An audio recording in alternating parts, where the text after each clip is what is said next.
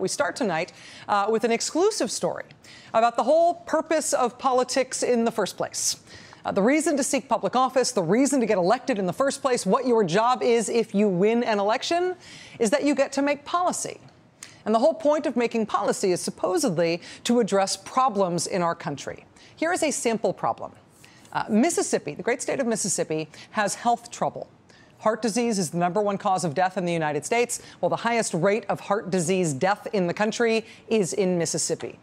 Diabetes, also a massive American health problem. Alabama and Mississippi, it turns out, are neck and neck on being the worst for diabetes. The most recent nationwide stats put Alabama at 50 out of 50 states and Mississippi at 49th. The really astonishing number, though, in Mississippi is infant mortality. For every thousand kids born in the United States, how many of those kids do not live to their first birthday? Uh, overall, this is the rate in the country for infant mortality. Here's what it is in Mississippi. Mm. Mississippi has the worst infant death rate in the country. Not only is Mississippi the worst in the country, if Mississippi were a country, it would rank below Sri Lanka and below Botswana. It would be 83rd in the world in terms of infant mortality. And if you look internally at what's going on in Mississippi, what explains that problem, you end up very quickly realizing that the issue is in racial disparity.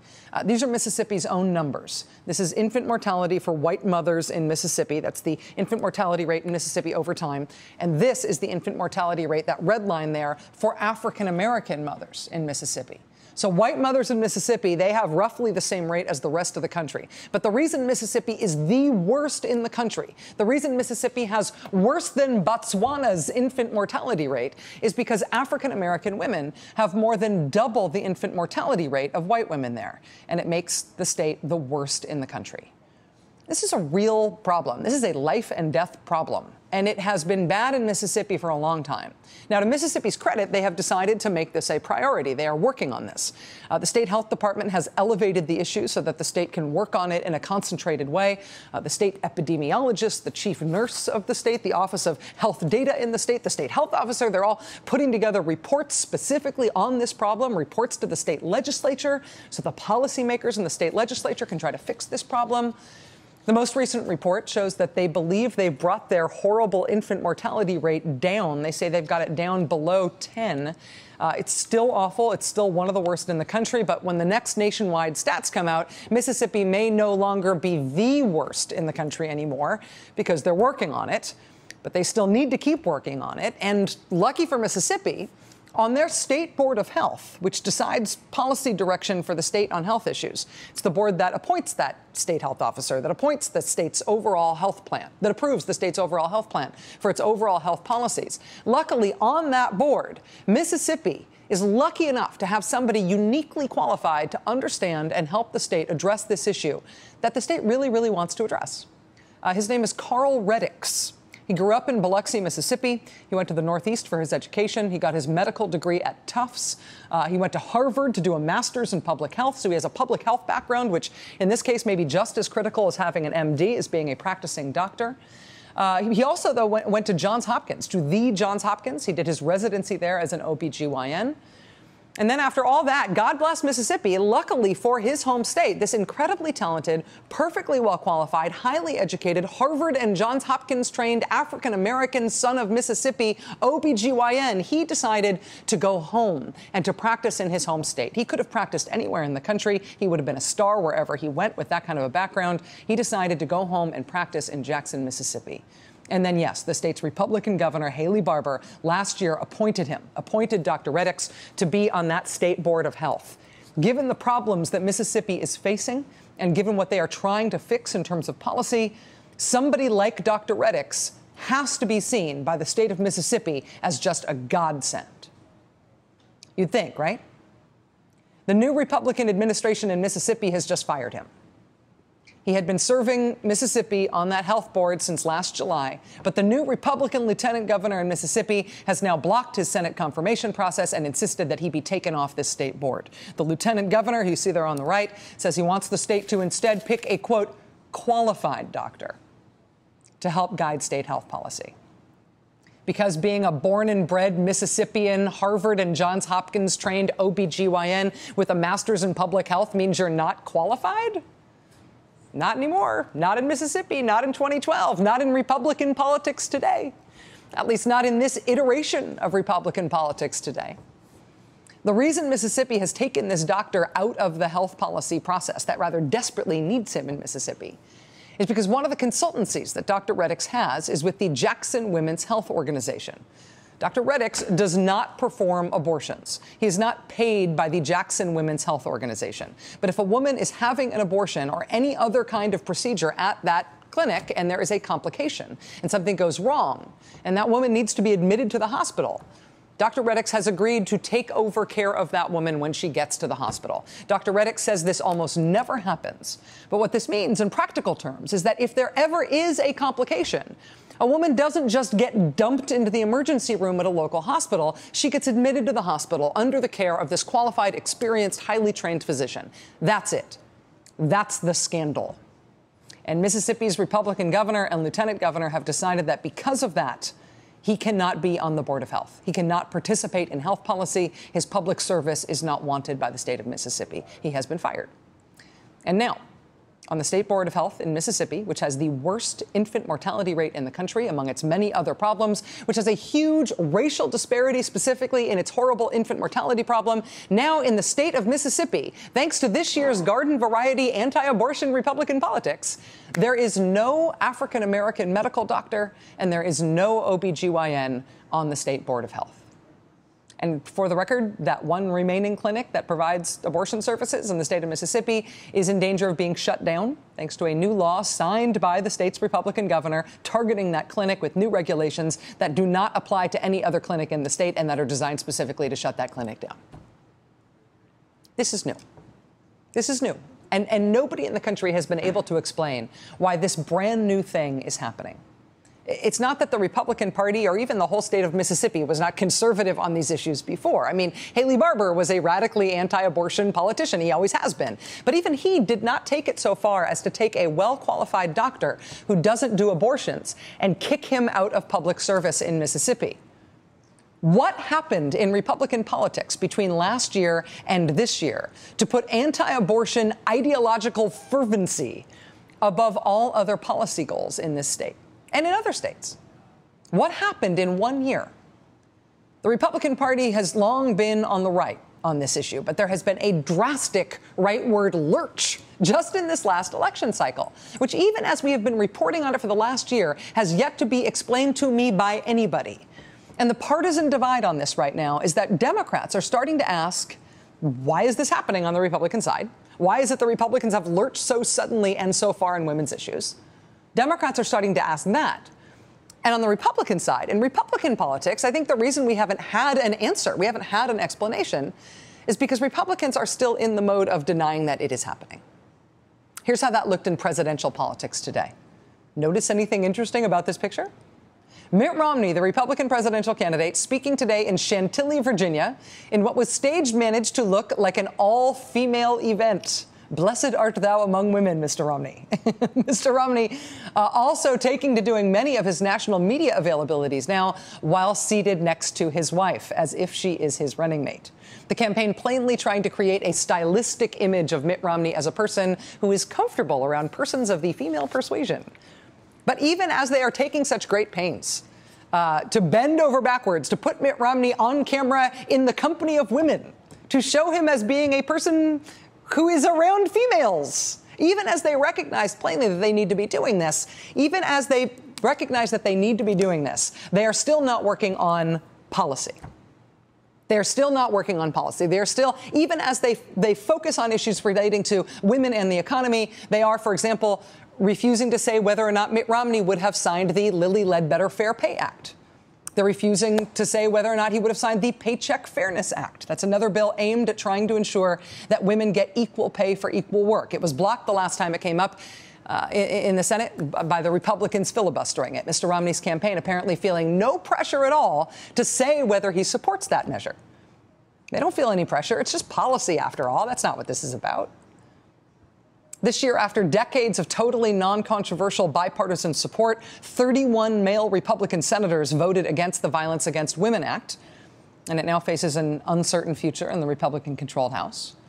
And they keep going after abortion rights and reproductive rights specifically. Last week, even in the midst of pounding the podium, literally John Boehner pounding the podium, saying that the idea that there is a war on women is a fabrication, even as that was happening, more than 60 Republicans in the House were introducing another federal anti abortion bill, another one. Republicans have also introduced a new 24 hour waiting period for women seeking abortions nationwide. They've also introduced a new time restriction on when you are allowed to get an abortion in Washington, D.C., over which Congress has some jurisdiction.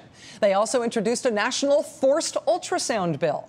So, like the one in Virginia that made Bob McDonnell famous, except this time House Republicans want it for the whole country. They tried to block medical schools from being able to teach how to perform an abortion to doctors in training. They threatened to shut down the whole government over trying to defund Planned Parenthood. They launched their whole witch hunt investigation of Planned Parenthood. HR 3, the third thing they did, their third bill. It was it was repeal Obamacare and then something else and then HR 3, the third bill, the third thing they introduced when they took over the House was an anti-abortion bill. It's policy. Policy, policy, policy. And it's not style. It's not personnel. It's not chromosomes. It's policy. Republicans have always been conservatives on these issues, but this fervency is new. This pushing it to the top of the agenda is new and as yet unexplained. Even in Mississippi, in deeply, deeply conservative Republican Mississippi, being against abortion rights is nothing new. But being so fervently and urgently and desperately against abortion rights that you would stretch that idea into blackballing a well qualified doctor's public service to his state? This is new. Why is this happening now? What is pushing this to happen now? Joining us now is Dr. Carl Reddix. He is an OBGYN practicing in Jackson, Mississippi. He was an acting board member of the Mississippi State Board of Health. Dr. Reddix, thank you very much for being here tonight. I really appreciate your time, sir. Thank you for having me. You were appointed to the State Board of Health by Governor Haley Barbour. Um, can I ask how you found out uh, that the new governor, Governor Bryant, and the new lieutenant, lieutenant governor were having you removed from that board? I had I found out at the uh, 11th hour, late Tuesday afternoon, a week ago, uh, while calling to try to ascertain when my confirmation hearing was going to be. I'd been asking for over a month, uh, such that I can schedule and make sure that the uh, my time was um, available and I was not out of town, such that um, I would uh, be available to uh, present myself in front of the uh, our state senate and uh, and sit for confirmation. Uh, unfortunately, no one knew when that confirmation hearing was going to be. Uh, they told me that historically they did it the last uh, week of, of our legislative session, uh, which is this current week. so last Tuesday, I was really um, trying hard to try to figure out when this hearing was going to be, and had the uh, state health officer and her uh, legislative liaison looking for the date and time, uh, getting in touch with the Senate uh, chairman of, of the uh, Public Health Committee uh, to no avail. And so I had my some some politician friends that I know both in the Senate and the House, and unfortunately for me, Representative uh, Robert Johnson, uh, state representative from Natchez, uh, informed me that he had talked with the uh, Senate chairman and that my confirmation was being pulled at the 11th hour by the lieutenant governor. Uh, he had every the uh, he the the Senate chairman had every intention on having the confirmation hearing this past Tuesday, and he was told that my uh, confirmation hearing was pulled. And so while on the phone with uh, Representative Johnson, I got a call from the um, Associated Press reporter uh, asking me why my nomination had been pulled. So uh, obviously, uh, you're dismayed and and um, and outraged at the prospect of a major uh, governmental institution not having enough decorum to allow a fairly simple uh, process to move forward. So it was uh, strictly from, really, I got more information from the reporter uh, because she had already uh, interviewed folks in the uh, lieutenant governor's office and the governor's office, and uh, and from her investigation, it seemed to have come from uh, the 11th hour uh, and by the lieutenant governor and not by our governor. As obviously you were appointed to this post by uh, the previous governor of Mississippi, by Governor Haley Barbour, uh, himself a Republican, um, uh, somebody who is uh, uh, not in favor of abortion rights as a politician. This was your your association with this clinic in Mississippi was not an issue for Haley Barbour, um, but it became an issue all of a sudden for the current administration in the state. As a as a born and bred Mississippian, as somebody who is an OBGYN has seen these politics firsthand. Do you feel like you've seen anything that explains this kind of this this this sudden change, this sort of newfound militancy in, in state politics on this issue that seems to have cost you the seat on this board? Well, yeah, I've never had the opportunity to sit for confirmation, so I can't uh, honestly answer that question. Although I can say that the um, you know, obviously this is we've got new state uh, um, statewide elected officers, both uh, in the uh, in all the, the top five uh, state offices, and um, so you know you, you would think that part of it is just because it's, it's new to them, and our lieutenant governor uh, has not spent any time in the Senate. He was not uh, his previous office was state treasurer, so I you know the uh, the issue is you know how much uh, control that one person has. I mean, if the state senator uh, who's charged with the committee that of oversight uh, for confirmation, my uh, um, background had already been checked by the state legislature, so all, everything was cleared.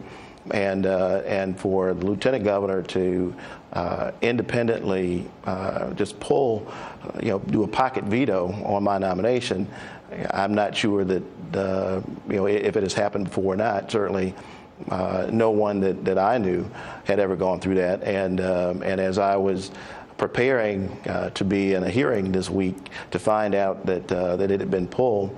Uh, a week ago is uh, and, and, nobody from from the state capitol or the governor's office have made any contact with me to to offer any explanation for why this has happened and uh, so it, it is it's total dismay and outrage on my part.